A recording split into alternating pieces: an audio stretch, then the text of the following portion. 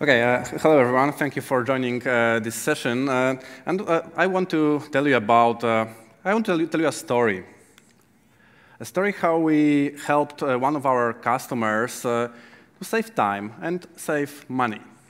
A little background. a big customer, they are a consultancy firm, they have a lot of own products, and each product runs on a different AWS account for different end customer.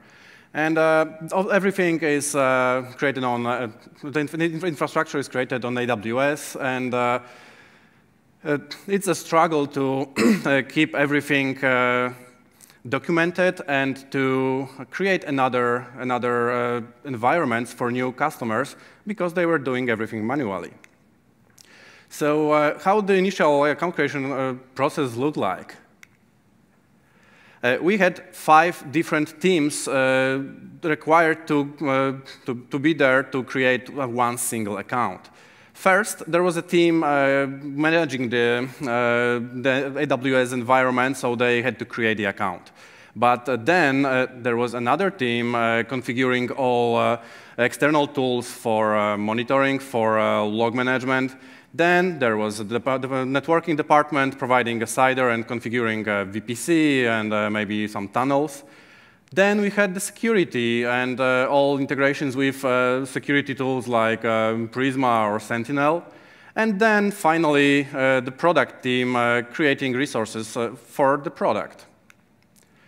And uh, as, you, as, you, can see, uh, five different departments, uh, no single source of truth, and no change history. They were just doing their job, and uh, uh, the next team uh, jumps in, doing their job, and finally we have something working, but nobody knows what happened. And if you want to change anything, we need to go back and do it manually. Uh, each team had uh, 48 hours for their task. So uh, for one single AWS account, uh, it could be up to two weeks uh, for, uh, for this. So yeah, it, it sounds crazy. And uh, how, uh, how we approach this, uh, this problem? First of all, we had to understand why it's working like that and what each team is doing there. So uh, we had to interview them, uh, different time zones, uh, different teams, uh, uh, different tools uh, used by these teams. so it was a tough process, but we had to gather all, all information from them to understand how, how we can help them. And of course, the solution is not perfect, but it, it, was working. So uh, any changes, any improvements, uh, uh, we uh, had to be sure that uh, there will be no disruption in this process, so they can still uh, deliver new new projects, new products when we are working on a better solution. And uh, what was the idea how to, how to do this? First of all, uh, we wanted to uh, introduce infrastructure as code, uh, uh, to have everything in one place, uh, always up-to-date documentation of the infrastructure.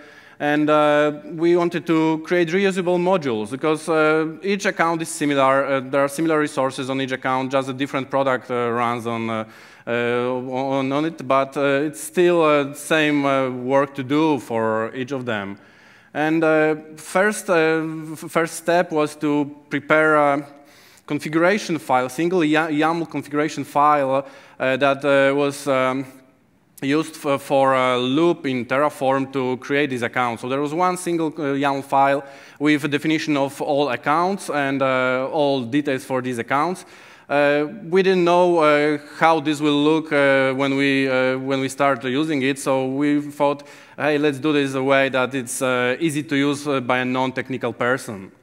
And uh, of course, if it's infrastructure as code, then we finally have uh, error-proof, kind of error-proof solution. We have code review and merge requests, and we only uh, base on things that is a master. Uh, of course, uh, there are different, uh, different tools integrated, and uh, we uh, wanted to automate uh, this integration process. a lot of external tools used, and everything was integrated manually. So each time, each team had to log in to a tool and create the integration, then configure, con configure a role on, on AWS, and provide some parameters. And uh, this was uh, this was easy uh, easy solution for that because we uh, knew uh, we, we, knew which tools are, uh, are being used right now and uh, how they configure it. Uh, we didn't know how to access these tools uh, remotely because not all of them had APIs. but there was a solution for that we discovered later. They created some kind of scripting for, for that for themselves, but they were just not using it because they like manual process. And uh, that's when we uh, introduced uh, our, uh, our, two, our, two, pipelines. First of all, we uh, wanted to have a pipeline which is running on the organization management account. Uh, it, it, has access to all AWS accounts within the organization.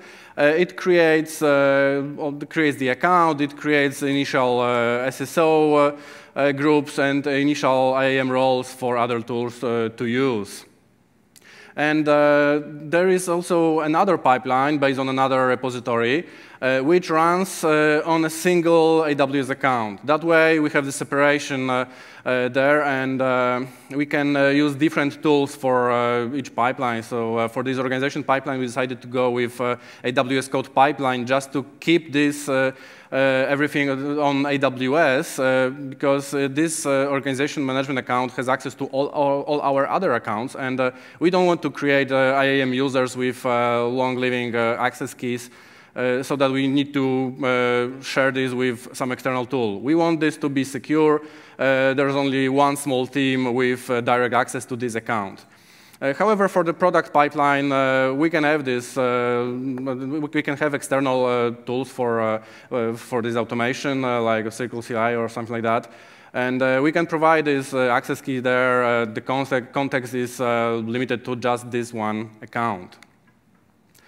And yeah, as, as, I already said, two different contexts and uh, different repositories, so different teams working on the code for, uh, for each pipeline, uh, code review, merge request, and uh, uh, approval to, uh, to merge it back to master, and then the automation starts.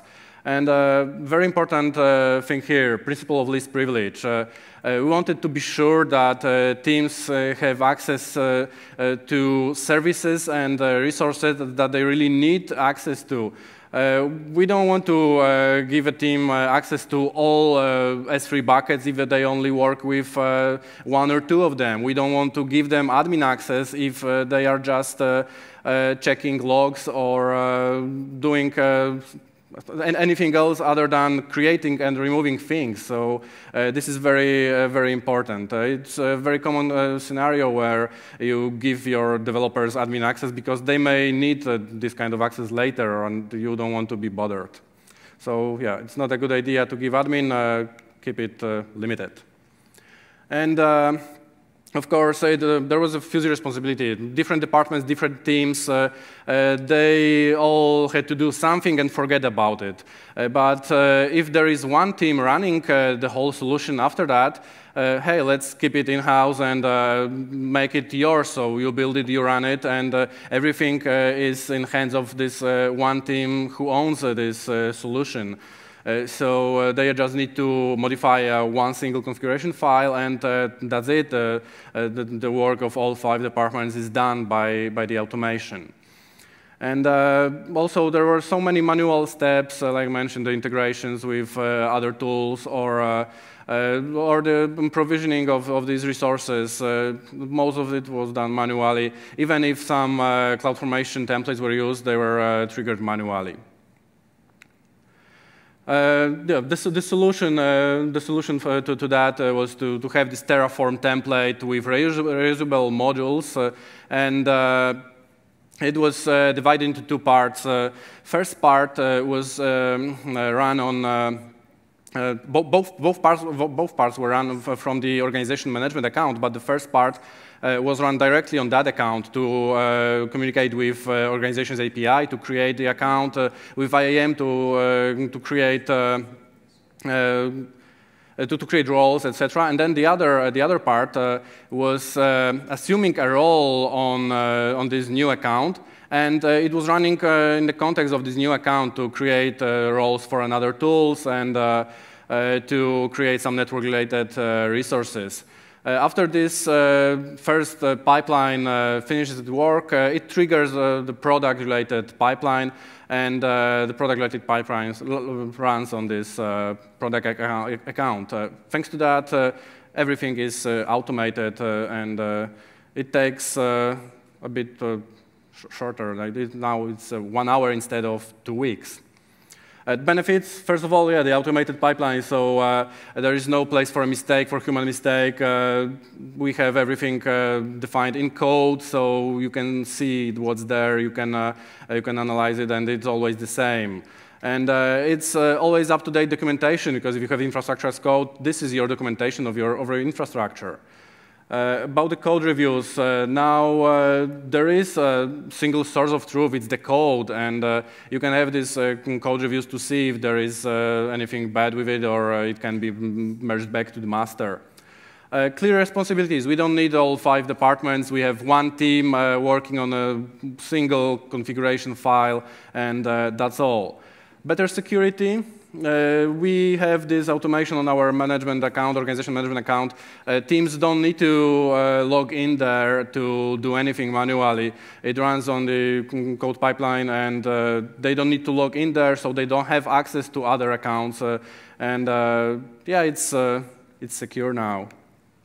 Yeah, and the time saved, one hour instead of two weeks. So this was a big benefit. Uh, uh, if you think of this client has a lot of new products, a lot of new customers, so uh, if they had to wait for one account two weeks, they, they were wasting time.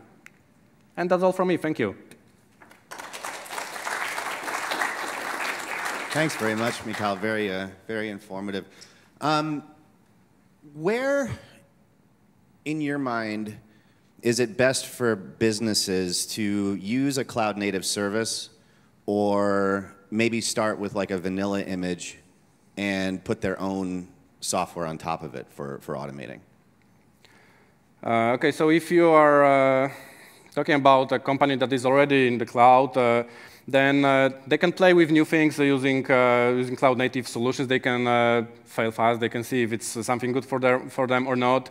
Uh, and uh, if they are uh, moving from, from on-prem to the cloud, then it's, it's a lot easier to do lift and shift and using just an image with your current, current setup and deploy it in the cloud and see how it works.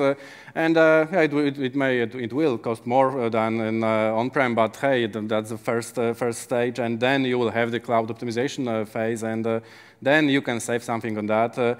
but yeah, that's, that's how I see it. But do you feel like um, doing that maybe on, on a single vendor is going to increase technical debt for a multi-cloud strategy?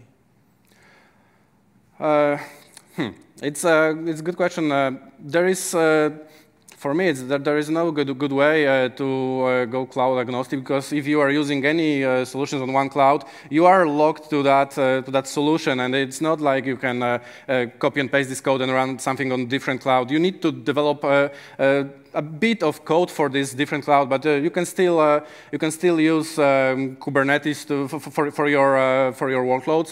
but still, this Kubernetes is is a service on one cloud or another. It's not like a, a copy paste and it works uh, in different place. So uh, yeah, if you are just focusing on one cloud, uh, then it will be a lot harder to move to another cloud or to uh, use another cloud uh, with your current solution. And we have OpenShift on top of that, muddying the water too. So thanks. Any other questions? Thank you for this presentation. And I'm wondering about uh, different steps that you mentioned uh, at the beginning. Uh, some of them are pretty straightforward to think of automate them, like, uh, of course, the creation of a, the account itself. Mm -hmm. But let's speak about, uh, for example, the networking step or the security setup, which might be different Mm -hmm. uh, depending on the application context, on the, I don't know, the department when, where you are. Uh, speaking about networking, you may have different network topology. Uh, the tunneling can, may be different. So how did you uh, tackle these, these uh, particular particularities of of Yeah, well, thank you for that question. Uh, it was very important to talk to teams and uh, ask how they are uh, uh, using uh, different security tools or uh, why they need to be involved in creating the network if it's uh, isolated. And for the security tools, uh, we just uh, had to uh, allow these external tools to uh, be there on our account. So the role, uh, each, each, each tool already had a own AWS account, so we just need to, uh, we just need to create a role and uh, allow this, uh, this tool to assume that role uh, to do some uh, scanning or maybe even a remediation. It was the same for all. It was not, nothing specific for a, for a product. It was on the account level. So just the role there and the integration on the tool side, and it, this was enough. Uh, about networking, uh, the networking team was involved uh, because they they knew how to calculate uh, CIDRs, and that's all. The teams were just uh, grabbing a number and using it, and uh, uh, that, that, that's how, the, how it worked. Uh, there was no uh, connection to uh, another network. Uh, th this was isolated. Uh, the only thing uh, that uh, was uh, needed later, uh, we had to use Transit Gateway and create this connection to different VPCs. So the CIDRs had to be different, but in context of the whole platform and uh, not the whole company. So we had our, uh, our freedom there. We knew what, uh, what addresses are available, and the script can just grab another one and, and just use it. So this, this was the, the integration that we had there, network integration that we had there. So there was not, nothing, uh, nothing specific, for, and we didn't have to uh, worry about uh, other networks. Thanks again, Mikhail. Very good, very good talk. Anything else? Any other questions before we move to some housekeeping around our World Cafe? Going once? All right, thanks so much. Thank you.